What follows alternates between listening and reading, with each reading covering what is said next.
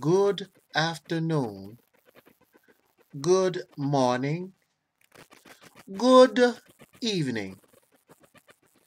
Whenever you have a chance to listen to this video, I'm the mighty one, Angel Snupnup 7.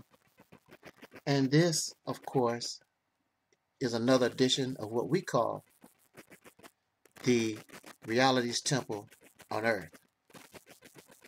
These few minutes, I would like to take the time to attempt to answer a question that was brought to us last night on a live stream while we were having a conversation on our brother channel, Tahaka Bey,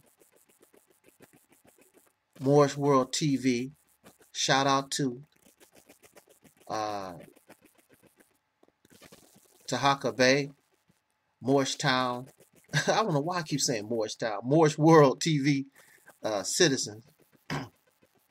Shout out to the platform for giving us the honor of being able to come there and discuss various topics. Our topic from last night was examining some of the odd beliefs in the black conscious community. And we began the discussion with Nation of Islam uh, teachings. However, our favorite faceless troll, who has not learned a lesson yet, but that's because they don't show their face, so they don't feel embarrassment, they don't feel the shame. So they hide behind a picture and they can handle it because nobody can see their face and say, hey, that's the person that got slammed last night, got embarrassed by so and so. Now, this troll got beat up, got smashed by Sister Nandy two times. This troll hasn't learned nothing.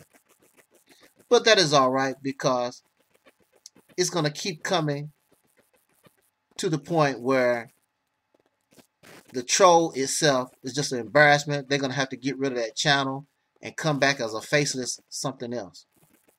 But you can't change the voice and you can't change the style. So everybody going to still know who you are. But the question that was brought to our attention was when is this Mississippi campaign going to start? What you gonna do? Now here's a person that does not care, been listening to what we have to say since the inception, since or since the introduction of the Mississippi campaign, 2018. They haven't they they know what it's about. But they have no program, they have no plan, they have no vision. So the attempt is to blast and see what they have done has been done and doing and this is not to say it has not had any success but it cannot heal it cannot heal the problem of the once called negro in america if it could we would be in a better position today. The Mississippi campaign is more than just economics. The Mississippi campaign is about healing, about motivation and inspiration, about the transformation from what we are now into a better life form, also the ability to liberate yourself from an oppressor and have the honor and you should have the right to seek your own destiny, your own independence. You should have, and every human being has that right. So, when is this supposed to get started? That's the question. It gets started when the people wanted to get started. The first step for us that understand, we must let the people know about this option. And of course, this Operation Exodus Mississippi, as we have explained countless times, this is a behavior, this is a this is an activity that our ancestors was doing right after the Civil War. They were uh, building small towns and cities, and they were taking different various office offices in the South. And of course, we had a very high population in the South, and we was progressing. And this was this we was just doing this naturally as a people, as a citizen moving in the country. The racists had to stop such advancement, and so they began a terror campaign which hindered such progress, which stopped such progress, which caused the flight. And our people start leaving the South because they didn't want to get killed, because of this discrimination, because of the Jim Crow laws. So we exited the South to the Northeast, the North, the West, and that stopped an activity that we call Operation Exodus Mississippi. We put a name on it, but that's what they was doing anyway. The only thing we're doing is bringing it up to date and put a name on it. And Mississippi was chosen simply because of being the path of least resistance.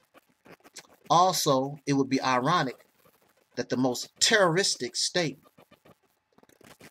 the most horrific state that did so much to hurt black American soul brothers and sisters, it's so ironic that we would be able to turn around and take control of that state and make it our own.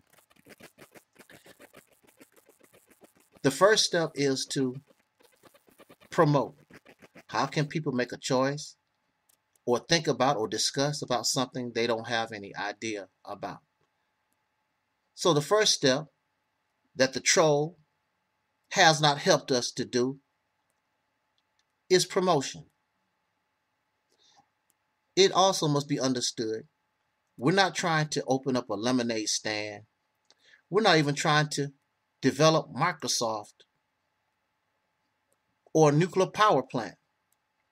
We're wanting to take control of a state. Two, two or three people can't do that. A hundred people can't do that.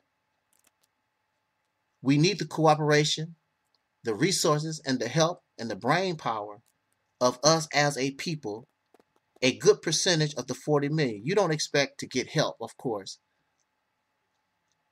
from the whole 40 million, but you need to have a good population because this is going to take of course, money is going to take brain power.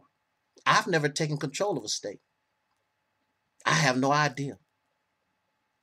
But once the people decide, it's not about me, it's for the people. If the people are offered this option and the people decide, eh, I don't I won't do that, hey, that's stupid, that's on them. We're not saviors. We're not messiahs.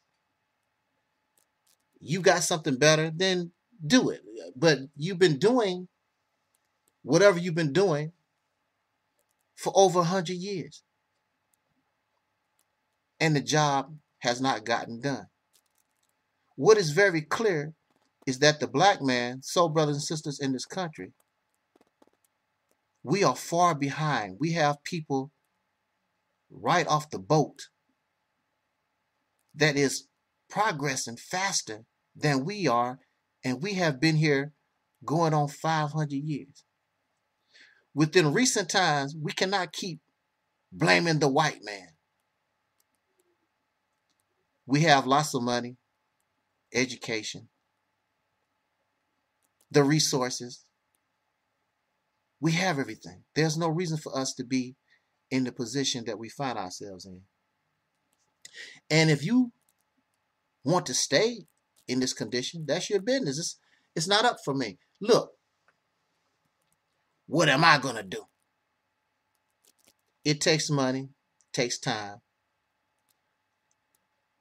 Why should I sacrifice my time? First of all, me personally, I'm not healthy anymore.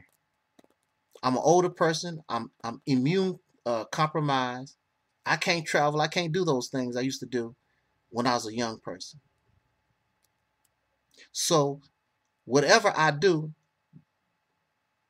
I'm basically risking my life to go out into the public, call myself traveling. For what? For a bunch of people that would do to me like they do Malcolm, make Margaret Malcolm X, Dr. King, for whatever reason. Because none of us, to my knowledge, none of us have risen to the level of their pinky, the nail on their pinky. So who are you to judge Malcolm or Dr. King or any of our people prior to ourselves? You're you're the do nothing generation. So of course I understand why you have a problem with Operation Exodus Mississippi. It's a lot of work. It's a lot of sacrifice. Even just to talk about doing something like this, you're going to catch hell. But what I'm telling you, what other vision, what other plan that we have is offering the benefits I've never taken control of a state. I don't have no idea. That's why we need the, the, the, the brain power of all of us. I don't know how to build roads. I don't know nothing about farming. I don't know about infrastructure, uh, all these different things. We have all these skills as a people. And if you truly want power, if you truly want influence, this action can give it to you. And it's much easier than you think. Also, it is very stupid to come out on YouTube and tell your enemy and the people everything that you plan or want to do because just like this troll, they are out here wanting to see you fail because they're not going to help you. Many of these persons that I talk about, I actually will help when I talk about the Nation of Islam, Minister Farrakhan, I gave him nine years.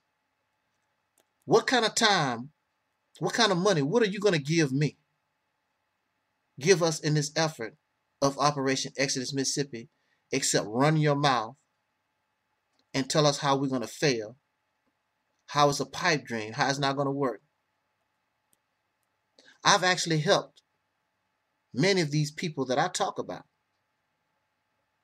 gave a donation, help them. Now, why don't you do the same for me? You're not going to do it. And the sad thing is because we want the credit. We don't want, and we feel bad because what we're doing